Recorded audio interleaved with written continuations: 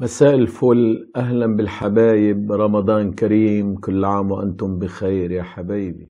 طبعا أنا ما بحكي عن المسلسلات مش اختصاصي لكن يعني في ناس عم يسألونا أنه شو هذا لون الغناء اللي هو هلأ موجود بمسلسل عاصي الزند للنجم العربي الكبير الأستاذ تيم حسن.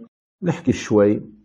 هلأ كل عصر في له لغة بالمغنى في الشعر في اللباس يعني طقوس بتمر على الإنسان. يعني والتجديد حلو لكن هذا اللون اليوم اللي هذا اللي فيه النضال بعاصي الزند هذا المناضل العظيم عم يحكي لنا قصة عن أيام الأقطاع أيام العثمانيين وأيام وأيام وأيام فهيدا المسلسل عم يحكي عن هذا الزمن اللي مضى يعني عن التاريخ كان في ظلم كان في جوع كان في مأساة.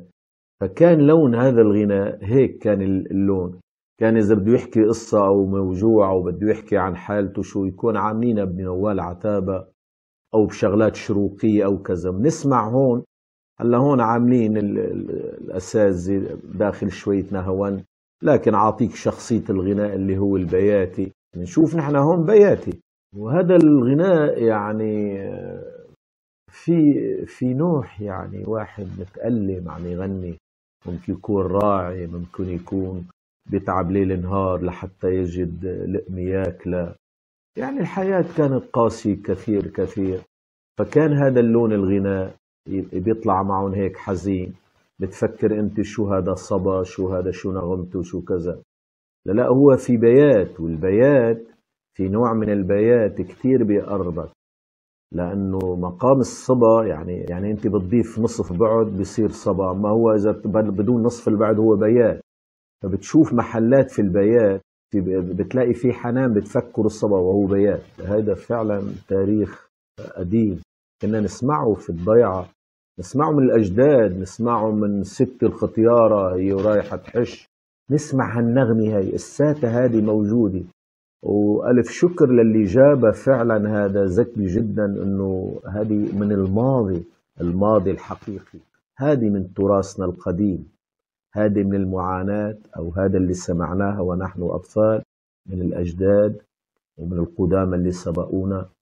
وهي نغمة بيات ونغمة حنونة وحلوة والكلام جميل. طبعا في تعديل أول البدء في تعديل بالموسيقى هذه التوزيعة الصغيرة الحلوة الجميلة. طبعا اللي ما كانت موجودة كلها قديمة. موجود واحد بيسلطن هالنغمة وبيطلع شو عنده يعني كان موجود عندنا الربابي مشهورة. الربابي يسلطن على الرباب وكان يجي آلات قصبية من عائلة الناي يسموها شبابي يعني أو يجي يجي الزمر مجوز يسموه. يعني كل هذا من التراث الماضي حقيقة حقيقة من التراث الماضي. واحد ممكن يغني لك على الربابي عتابة يسحرك. حنون. ومروا كتير وقدامى كتير مروا من هالأنواع هاي. ورجعت تطورت العتابة. تبعت العتابة بقت الموال العتابة لكن كيف تطورت تطورت بالقفلة تطورت بال... بال...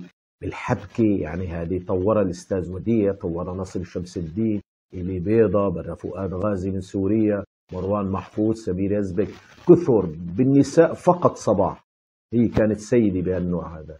وهلا هيدا الموال موجود بالمسلسل. هيدا شوفوا مغنيته صباح نفسه طبعا بصوت صباح الشديد. صوت صباح الشجيل جميل.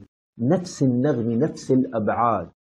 يعني هلأ إذا قصنا الأبعاد اللي مغنيتها هي المطربة بالمسلسل بتفكرها موطي ومغنيتها صباح لكن بصوت أجمل وأرقى طبعا. آه ما بدنا نحكي طبعا الله يوفق الجميع لكن مسلسل الزند قصة جميلة. والله يطول عمره لتيم للي معه لأنه عم يرجعونا على نشوة الماضي. الحقيقية. ولو كان في ظلم وفي قسوة لكن هي قصة حقيقية يعني مرت وناجحين كتير ونحن من هذه الشاشة أو من هالقناة المتواضعة. بس كل الحب لكل فنان جميل بيحكي عن الماضي الجميل إن كان فن إن كان تمثيل إن كان قصة إن كان شعر. وأنا أخص بالذكر النجم الكبير اللي هو الله أكبر بكل شيء number one والأستاذ تيم حسن. إذا يا حبايبي الموسيقى هي اللي بتتطور والموسيقى هي الأقدم والموسيقى هي الأجمل دائما. والموال هذا مر من قديم قلت لكم كيف في المعاناة كيف واحد بيغني بيات بيقلب نتفة صبا بيرجع على البيات. لكن في بيات قلت لكم في بيات كتير بيشابه الصبا كتير ونغمة صبا وبيات بالمقاييس الموسيقية. شكرا لذوقكم والله يهنيكم ونتمنى للجميع نحضر هالمسلسل الجميل نتذكر ماضينا. نطلب من الله يكون حاضرنا هو الأجمل وبلدنا وكل أمتنا العربية والدنيا كلها تكون بخير. ورمضان كريم على الجميع شهر المحبة شهر الخير.